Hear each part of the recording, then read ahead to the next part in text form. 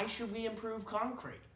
Well, concrete is the single most widely used material in the world. Over 8 billion tons are produced annually. That's a lot of concrete. Now, concrete's used for buildings, bridges, roads, and all of these structures that we use every day. So, let's see if we can improve it. Why should concrete's cracks self-heal? Well, we can see here with a man holding another man leaning over an edge trying to repair a crack in concrete that it can be super dangerous to repair. Here we see if we don't repair it, what the repercussions can be. So what do we desire in concrete? Well, first we want it to have um, certain specifications, certain tensile strengths, uh, resistance to wear, um, we want resistance to freezing and thawing, water tightness, etc. In addition to that, we want concrete to be workable so that our ladies and gentlemen laying the concrete down, um, it's easy to mix for them and um, it's easy for them to put it where they want it to go. Lastly, of course, low cost. Um, as one of the cheapest building materials out there, um, we can use it in so many structures at a low budget. So, what is traditional concrete? Traditional concrete is made out of cement, aggregates, and water. So what is cement? Cement is a chemical combination of calcium, silicone, aluminum, iron, and other ingredients. So now, what are the aggregates? Aggregates are made up of fine and coarse particles. Some fine aggregates include sand, and coarse aggregates include gravel and crushed stone.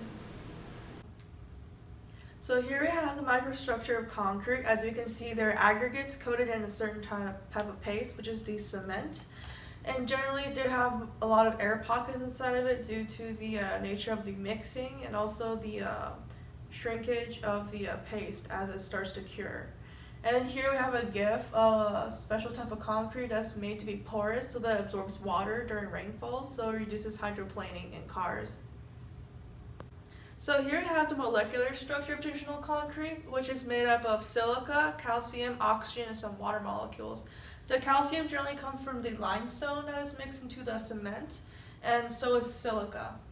And then um, the water is generally mixed so that it mixes with a clinker inside of the cement, which is generally gypsum, ferroxide, and different silicas, which starts to heat up and starts to cure the concrete, making it into a paste that eventually hardens and binds the aggregates together.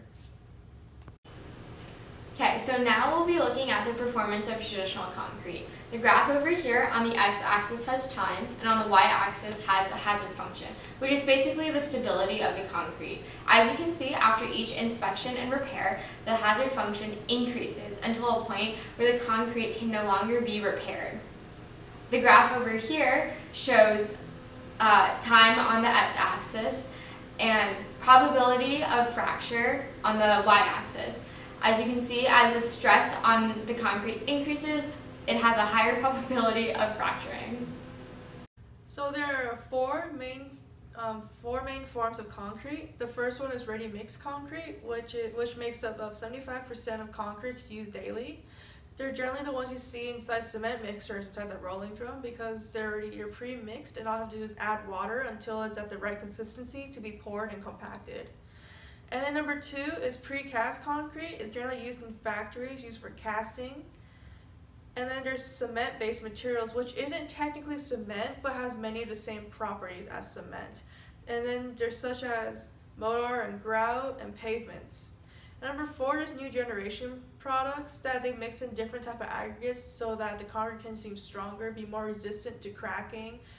One way they make concrete resistant to cracking is by mixing a bunch of fibers and that's one that's still working on.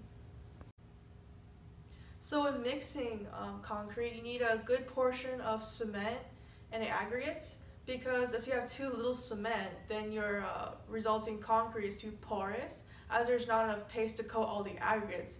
So you have a cement that's very easy to frac that's kind of easy to fracture because not enough paste to hold everything together, and it's very porous and very rough. But if you have too much cement, your, your resulting concrete can be very easy to pour. It looks very smooth, but however, is very uh, prone to freezing damage, freezing and thawing damage, and also um, very easy to crack as well because the cement by itself without aggregates doesn't have enough flaws to prevent cracking. and also, generally, cement need a good um, ratio between the uh, concrete mixture and water as well as water um, as water and cement mixed together to form the paste that binds it all together. Generally, high quality concrete actually has a very low water to cement ratio to, to bring down the price and pres to preserve the curing time. But also you need to use enough water to not compromise the uh, stability of the paste as well. Generally, when you mix water into the uh, concrete mixture, the paste forms the uh, forms a film around the aggregates, and as it starts to dry, it forms nodes from the aggregates and expands outwards until it meets the uh, the nodes from other aggregates around it. So uh, that and it also dries from outside to inside, generally in concrete. So it forms a very compressed layer. So basically, we have this concrete, and we can stick things in the concrete called admixtures. Now, these are just additives um, that are used to achieve certain goals with the concrete, such as accelerating admixture and retarding admixture, which changes the amount of time the concrete takes to set. There's also air entraining admixture, um, which involves putting air bubbles into the concrete um, so that we have an improved durability. And water reducing admixture, which is used for um, increasing strength and decreasing cost. And now we will talk about another type of admixture, bacteria, that can be used to self-heal concrete.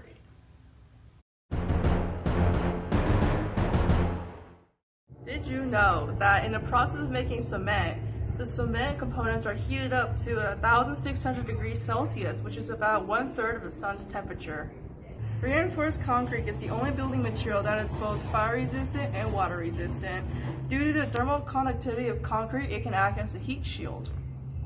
Pozzolanic concrete is the only type of building structure that can be used underwater. It is generally used to build structures under the ocean. Concrete by far is the best material for road construction. In fact, about 30% of the interstate highways in the United States are built by concrete. Although it is more costly than asphalt, is is more lasting than asphalt. FYI, asphalt is a bismuth tar-like uh, paving material. It's very different from concrete. So, just remember that.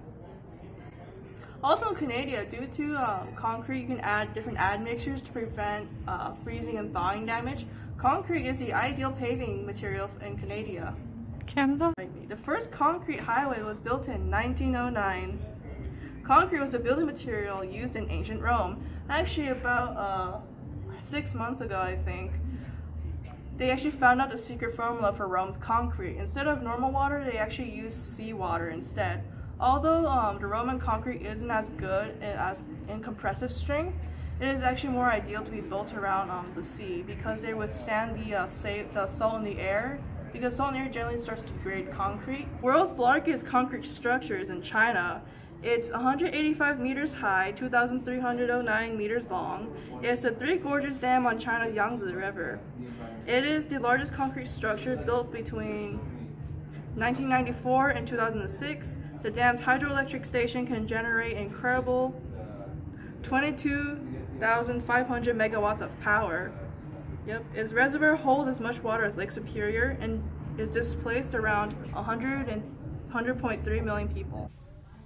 Near the turn of the millennium, about 4 to 5 percent of the carbon dioxide emissions worldwide were the result of making cement.